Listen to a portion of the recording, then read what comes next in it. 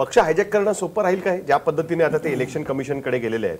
तुमच्याकडे maximum number म्हणजे पक्षाची घटना म्हणजे शिवसेना कशावर अवलंबून आहे? म्हणजे उद्धव ठाकरे गट कशावर अवलंबून आहे? आमची घटना आहे. आम- आमची अपॉइंट केलेली एक्झिक्युटिव्ह बॉडी आहे.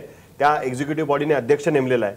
या सगळ्या गोष्टी तुम्ही बाहेर पडून अशा पद्धतीने कसं काय स्वतःहून अपॉइंट करायला सुरुवात करू शकता? याच्यामध्ये निवडून आलेले आमदार खासदार आणि इतर लोक आणि त्याचबरोबर पक्षाची घटना यांना इक्वल वेटेज असेल का? नाही. लक्षात घ्या साहिल की हा मोठा प्रश्न आहे हा पुराव्याचा भाग आहे.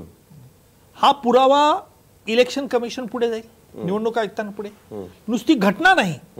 घटनेनुसार तुमचा अध्यक्ष कोण आहे पक्षाचा? त्याची निवड होते की नाही? पक्षांतर्गत तुमच्या निवडणुका होतात का नाही? का तुमचं तहयात आहे? या सगळ्या बाकीच्या ज्या प्रोव्हिजन्सला आहेत या देखील चॅलेंज होतात. आणि त्या चॅलेंज झाल्या तर परत ते सुप्रीम कोर्टात जाईल.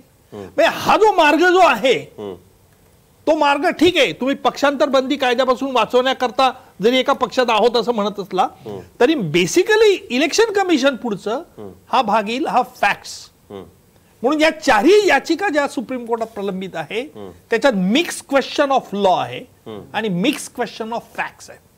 आता मिक्स क्वेश्चन ऑफ फॅक्ट्समध्ये देखील त्या कॉम्प्लिकेटेड क्वेश्चन फॅक्ट्स आहेत. आणि म्हणून सर्वोच्च न्यायालय ह्या फॅक्टच्या तळाशी जाईल का? जेव्हा घटनापीठ स्थापन करतं त्यावेळी माझ्या मते जाणार नाही. अच्छा. आणि घटना ह्या कॉन्ट्रोवर्शियल फॅक्ट्समध्ये जाणार नाही. ते सांगतील की तुम्ही याकडे ह्या फॅक्ट्स डिझॉल्व्ह करा तिकडे फॅक्ट्स डिझॉल्व्ह करा आणि तुम्हाला परत ते चेंडू दुसरीकडे टाकतील.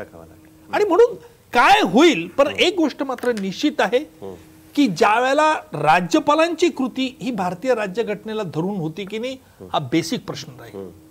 ज्या सोळा आमदारांच्या विरुद्ध अपात्रतेची नोटीस बजावण्यात आली नरहरी झिरवाळ तत्कालीन उपाध्यक्ष यांच्याजवळ त्यावेळेला काय मटेरियल होतं की ज्या आधारे त्यांनी केली?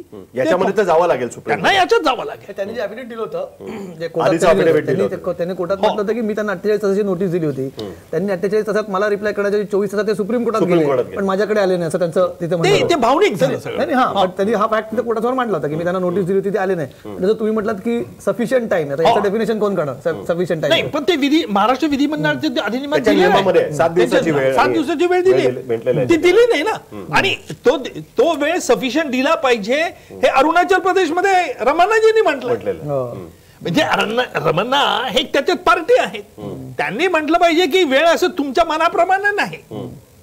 आता ते भावनिक परत आर्ग्युमेंट तुम्ही जर अठ्ठेचाळीस सुप्रीम कोर्टात जाऊ शकतात मग इकडे येऊ इथे का शकत नाही येऊ नाही. शकत? हे सगळे भावनिक युक्तिवाद झाले. याला काही अर्थ नाही. कसं आहे की ही खरं तर तारेवरची कसरत आहे की एका बाजूला तुम्हाला घोडे बाजार होऊ द्यायचा नाहीये. हा हे एक महत्वाचं वाक्य.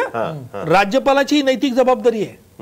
हे अरुणाचल प्रदेशमध्ये सर्वोच्च न्यायालयाने म्हटलंय की राज्यपालांनी ही लोकशाही सुदृढ होण्याकरता घोडे बाजार तर होणार नाही ना याची काळजी घेतली पाहिजे. स्पेसिफिक वाक्य कस्टोडियन ऑफ द कॉन्स्टिट्यूशन हो रखवालदार. सुदृढ होण्याकरता आधी लोकशाहीवरती दृढ विश्वास असणं अत्यंत आवश्यक आहे. तो विश्वास दिसतोय का? आणि तो लोकांचा राहील का याच्यानंतर? हा खरं तर प्रश्न त्याच्यामध्ये उपस्थित राहतो.